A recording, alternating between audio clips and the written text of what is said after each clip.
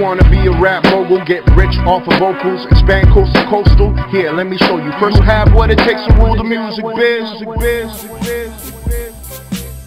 That's my good friend Sudz Sutherland, man. Um, when he approached me to be a part of the the music biz, like it seemed like a cool, you know what I mean? It seemed like a cool app, and um, and yeah. Besides it being a really a really fun app, um, I just believe in in him.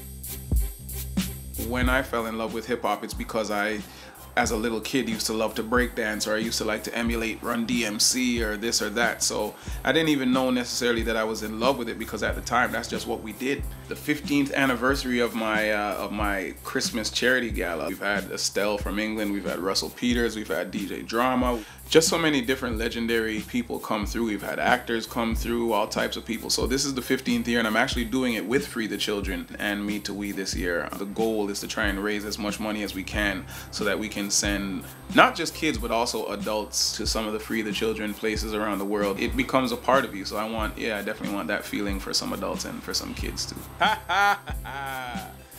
that is hilarious. That's awesome. Thank you. No, that's cool. That is cool. That is that is super cool. Do you have what it takes to rule the music biz?